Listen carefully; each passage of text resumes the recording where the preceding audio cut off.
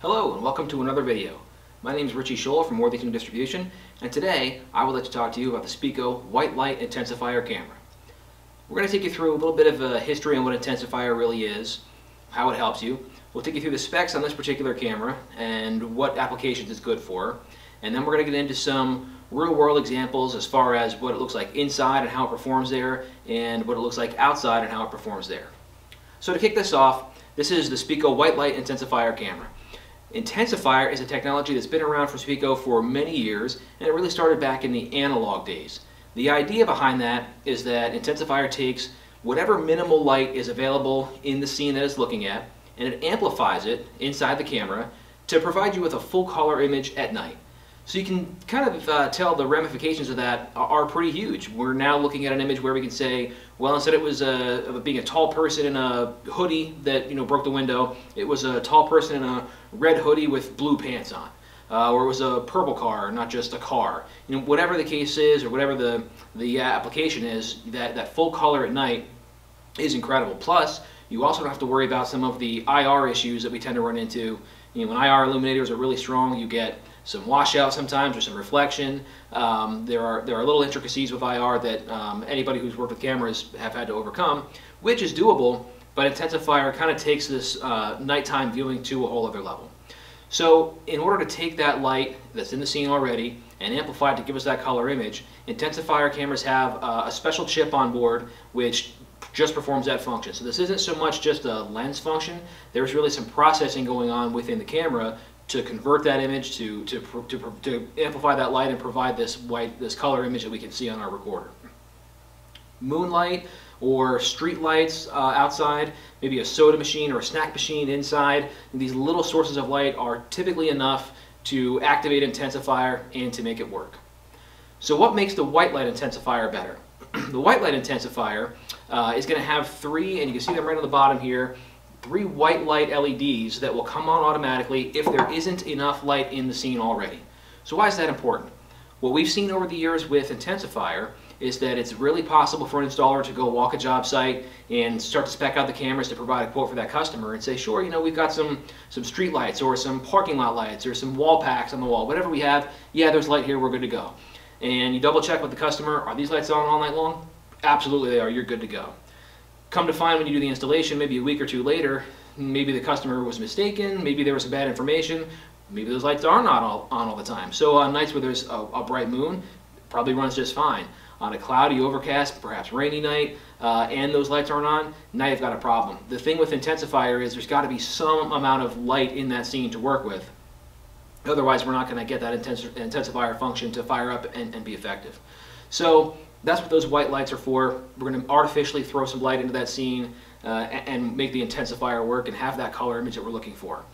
These lights on the camera will throw 100 feet away from the front of the camera, depending on scene reflection, you know, depending on some factors, but we're looking at in that 100 foot neighborhood typically, um, and, and that the light that it produces is enough to give you that color by night functionality.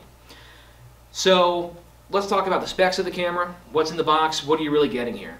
This would be a bullet style camera. It's available in other form factors as well. You can see we've got the, the, the, typical wire pigtail hanging out of the back. You have your ethernet connection, which is typically all you're going to use. There's also a power connection if you're not using PoE, and there's a, um, an audio input on here as well. We have the really nice uh, toolless adjustment here. So we've got the, the screw that you can un undo and tighten up to let the neck go and roll any direction. So that's on it. Um, and then obviously on the front we have no nighttime LEDs. This is these are uh, visible light only on these, and that's all an automatic function. So that's your camera. You're also going to get the waterproof connector. So you still want to run your own Cat 6, whatever cable you're running, but the idea here is that you slip these two pieces on before you put the connector on, and then there's a kind of a bushing in here. It's a, it's a rubber piece. So as you tighten this down, it's going to get tighter around the camera. And then this also has weatherproof connectors, so when you, when you lock that on there, you're going to get a fully waterproof connection. Now the other advantage is that's all happening inside the back box that comes with the camera.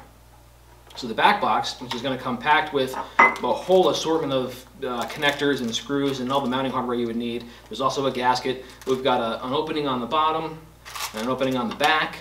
And you can route your wires any way you need to. I put the gasket on, put this on, now the flange from the camera, this part here, is going to fit onto the bottom of the, on the side of the box, and you've got a whole weatherproof setup, no problem with the wires, everything that could possibly uh, let water in is gasketed or is sealed some way, and that comes with it, so you're, you're good to go there. So next, let's cover the specs of this camera. This is a 5 megapixel camera, so any recorder that can support that sort of frame rate or that sort of resolution uh, is going to give you that 5 megapixel video.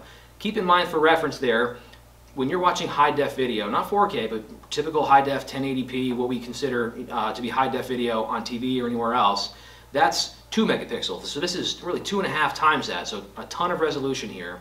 Um, and why is that important? The reason those high res the high resolution cameras get really nice on these on the modern network video recorders, the NVRs, is really on playback. So if you if you look closely, areas that we used to cover with maybe two, three, or even more cameras, oftentimes can just cover with one really high quality camera now because we have that higher resolution. If you go back to the old days of analog recording where we're at you know 720, 1,000 lines if we're lucky, usually much less than that, there's really not a lot you can do to zoom in on that um, digitally. You're just not going to have the quality there, not, enough, not enough pixels in the, in the image. You're going to get that grainy, really blurry kind of picture that, that's almost unusable. When you're up in this 5 megapixel neighborhood, even less than this, but especially in this 5 megapixel neighborhood, we're recording this on the NVR at that full 5 megapixel. So that means when you're playing back a couple days later or a week later, whatever the case may be, you can zoom in then. So a fantastic example is, you know, checkout lanes in a grocery store. You know, where you might used to have one camera on every single lane, maybe you cover two with one camera now because you have the power to zoom in on either one. Or alternatively, you can say, well, I'm still going to use as many cameras as I used to, but I give my customer the ability to really zoom in and see facial features, what writing was on the person's shirt, you know, was there any, you know, markings that might identify whatever it is that we're trying to find, um, and with that enhanced resolution, you can really get that. So 5 megapixel here, which is just tremendous. We also have operation down to negative 40 degrees Fahrenheit. We don't need an additional enclosure. There's heaters. There's there's uh, enough uh, there's enough technology and, and, heat created in the camera that it's reliable without fog, without icing, down to negative 40 Fahrenheit. Another really nice thing. Obviously, in a camera this size, we're going to be weatherproof, outdoor rated, so so no problem there. It's ready to go. Again, I talked about the the gasketing and all the seals that are in the box, so outdoors no problem. It also have what's called true WDR or wide dynamic range operation. Wide dynamic range is a feature that allows the camera to deal with harsh sunlight situations that are coming directly at the lens. And again, if we rewind to before we had this kind of tech in these cameras, you might see some playback um, video or some clips where um, the video again is almost unusable just because of the harsh sunlight in it and it gets washed out, completely whitewashed. Um, and you really have to think about that in terms of when you're doing cameras and, and, which direction they're facing, you know, where do we mount them to, to avoid that harsh sunlight certain times of the day when it's shining right into the camera. Well, with WDR, wide dynamic range, not such an issue anymore. So if you really think about that with this particular camera, now we're saying, give me harsh sunlight, no problem. Give me minimal to no light with the white lights that are built into it, also no problem. So we really run the gamut on these lighting situations. The last thing on this camera is the analytics features. There's a ton of stuff packed in here that really makes this super usable and really kind of enhanced experience for your customers and something that you can offer that not everybody does. Um, and it really comes at a very affordable cost. So the analytics that are in here would be face detection, um, and we'll, we'll kind of elaborate on these. We have face detection, human detection, vehicle detection, line crossing, uh, intrusion, and scene change um, analytics all built in. Now there's a couple things to keep in mind here. With these analytics cameras, you've got to use them with the analytics recorders. So in Speco, that would be like an example is the NRE recorder that I have right here. So some of the of the Speco, like some of your entry level or economy series, are not going to support any analytics. Can we use this camera on that recorder? Absolutely. It's going to come up just fine. You're going to get all of the advantages of the white light intensifier, all the other specs. The only thing you would lose is those analytics because that is kind of a uh, cooperation, so to speak, between the camera and the recorder to make those analytics happen. So let's say we do use like an NRE style recorder, um, or even the NRN, some of the newer ones. So those have the analytics built in, and you get all those features that I mentioned. And the really cool one is the facial detection. Um, there's, there's kind of two things to keep in mind there. We have facial detection and human detection. So what's important when you look at the, the object detection, like human and vehicle, you can set rules in the recorder, really easy to set up to say, you know, don't just let me know when there's motion in the image, let me know when there's a car, and or let me know when there's a person in the image. So now we're not having a squirrel trip it, we're not having, you know, breezy, uh, you know, wind that blows the, the trees around trip it. Uh, you're really just getting what you want, which is people or vehicles in that case. So we've got that. To take that to the next level, we have facial recognition. So now we're not just saying, let me know when any person's here. You can say, let me know when this particular person's here.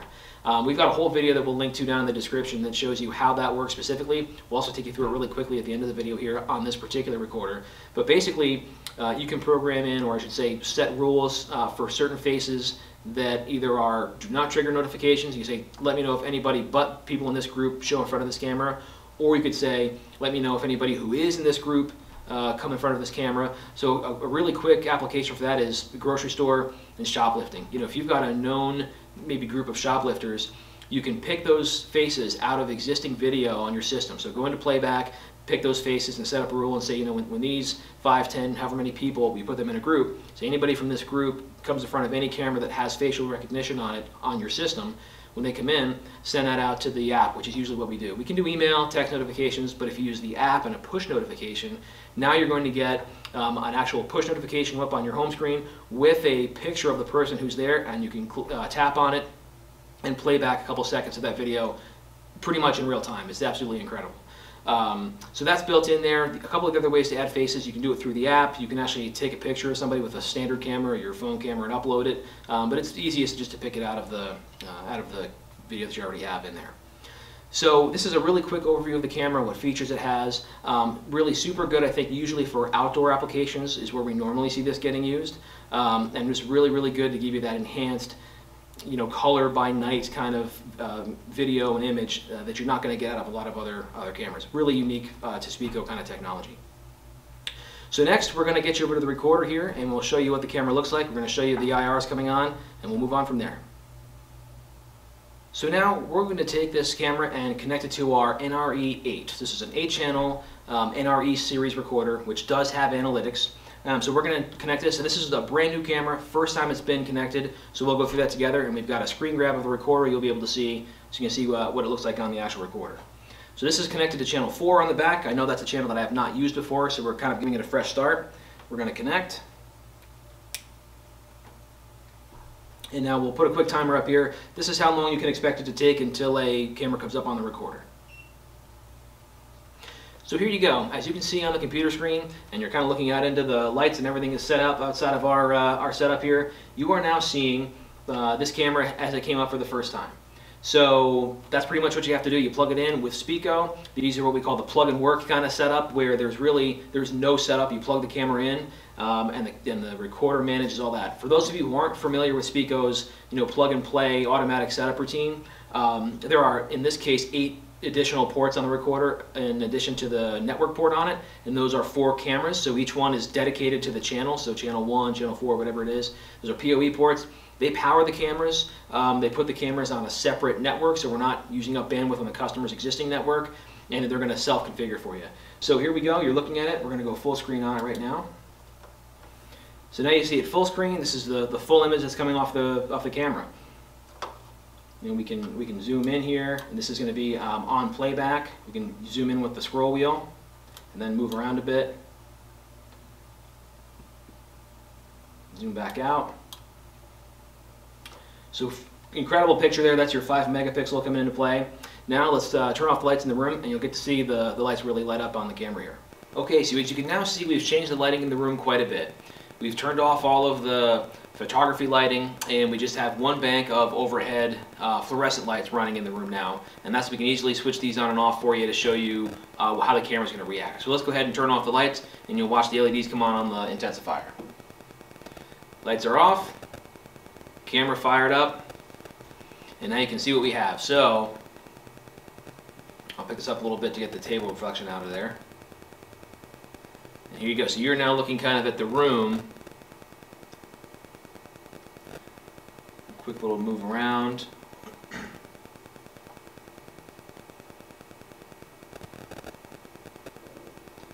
There you go. Quite an impressive, an impressive amount of light that you can see come out of here.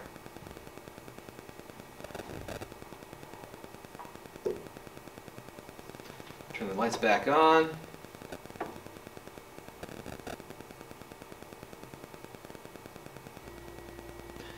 So we're back with you, and the camera has been recording for a number of days, and more importantly for a number of nights, so we can show you some of this really cool nighttime video. What you see now is a live view of the camera, so you can see the cars going by. This is uh, out by our, our driveway here into our parking lot. So you can see, you know, we're looking at the building, full color, it's middle of the day right now, so kind of what you would expect. We're going to hop into the playback now.